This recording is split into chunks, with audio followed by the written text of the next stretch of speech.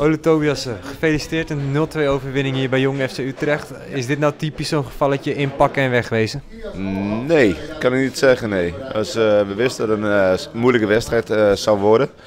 In de eerste helft moet je voorkomen. Heb je kopkans op de lat. Dan, dan heb je wel het meeste, meeste spel, maar je krijgt eigenlijk heel weinig kansen.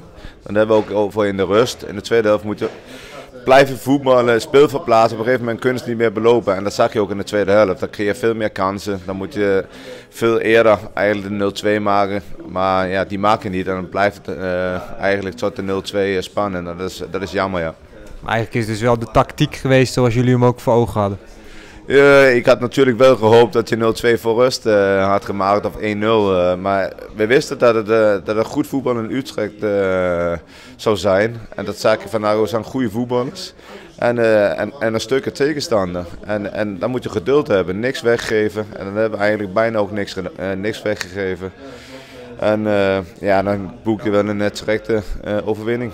Het zat ook niet altijd mee, want volgens mij raak je drie keer de paal in de lat. Nee, daarom zeg ik. Eerste helft uh, uit een uh, standaard situatie.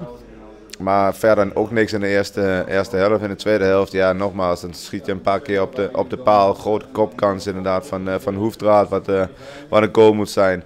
Dus je had de wedstrijd eerder moeten beslissen. En het is jammer dat je niet eerder 2-0 maakt. Dan denk ik dat je ook uitloopt naar misschien naar 3 of 4-0. En dat zou goed zijn voor de toestander. Jullie winnen voor de vierde maal op rij.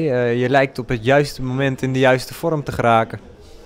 Uh, als je zo bekijkt wel. Uh, nu gaat het allemaal volhouden. Ja, niet, niet naast de schoenen gaan lopen. van deze overwinning moet je natuurlijk genieten. Maar ja, volgende week staat er weer zwaar kluts. het zijsticket in Bos. En ja, dan moeten we vol voor de drie punten gaan weer. En, en nog kunnen stijgen in, in de reguliere competitie, maar natuurlijk ook in de vierde periode. Ja, ik heb net even een snelle blik geworpen op de stand. Het ziet er naar uit dat je in ieder geval een reuze stap zet richting de play-offs. En zelfs uh, een gaatje slaat uh, richting die halve finale play-offs.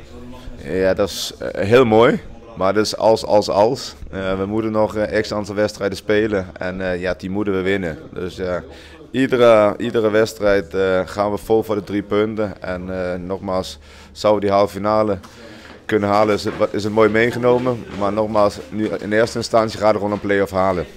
Is dat ook wat je je spelers na iedere overwinning meegeeft? Van even hiervan genieten en dan meteen weer toeleven naar die volgende wedstrijd? Nee, absoluut. Uh, dat, dat merk je ook. Ja, we hebben een, paar, een zwaar week gehad met, met vier wedstrijden. Ook met, met de wedstrijd wat we moesten inhalen. En dat zag je ook in onze laatste wedstrijd. Vandaag overigens ze weer fit. Maar ja, ze, zijn, ze zijn goed bezig. Uh, ze leven ervoor. Natuurlijk uh, helpt het ook mee dat je, dat je uh, overwinningen boekt. Maar ja, ze zijn er bewust mee, mee bezig. En dat moet ook in zo'n zware fase van de competitie.